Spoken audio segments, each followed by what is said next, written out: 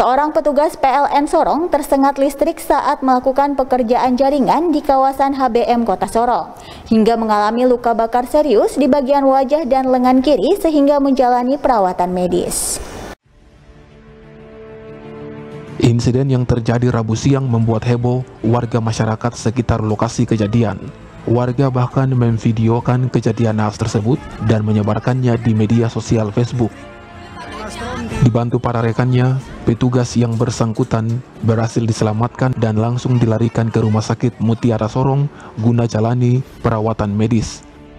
Dari dokumentasi foto dan video grup WhatsApp PLN Sorong, petugas yang bersangkutan alami luka bakar serius pada bagian wajah serta lengan kiri. Pasca insiden tersebut, PLN Sorong menyatakan masih melakukan investigasi terhadap insiden dimaksud. Anggreni Sumbung, CWM Channel.